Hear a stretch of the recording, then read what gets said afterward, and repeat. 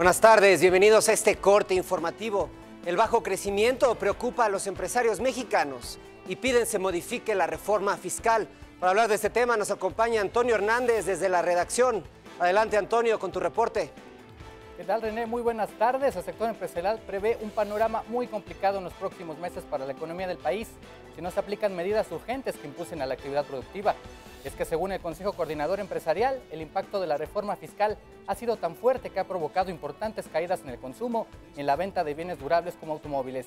Ante esto, el CCE buscará algo que suena bastante difícil, que el gobierno modifique la reforma fiscal aprobada en 2013. ¿Qué te parece si escuchamos al presidente del Consejo Coordinador Empresarial, Gerardo Gutiérrez Candiani?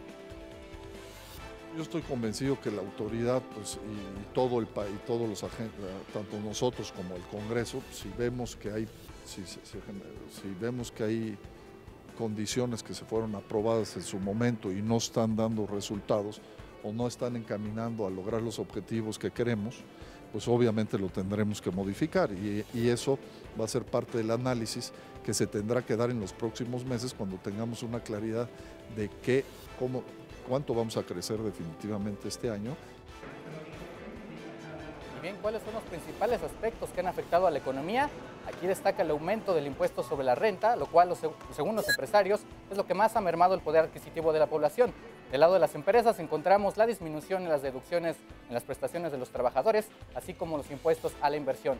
Será hasta el regreso de las vacaciones de Semana Santa cuando el sector empresarial se reúna con legisladores para analizar el impacto real que ha tenido en la economía la reforma fiscal y en consecuencia elaborar una iniciativa que será presentada a la Secretaría de Hacienda con fin de retomar el crecimiento.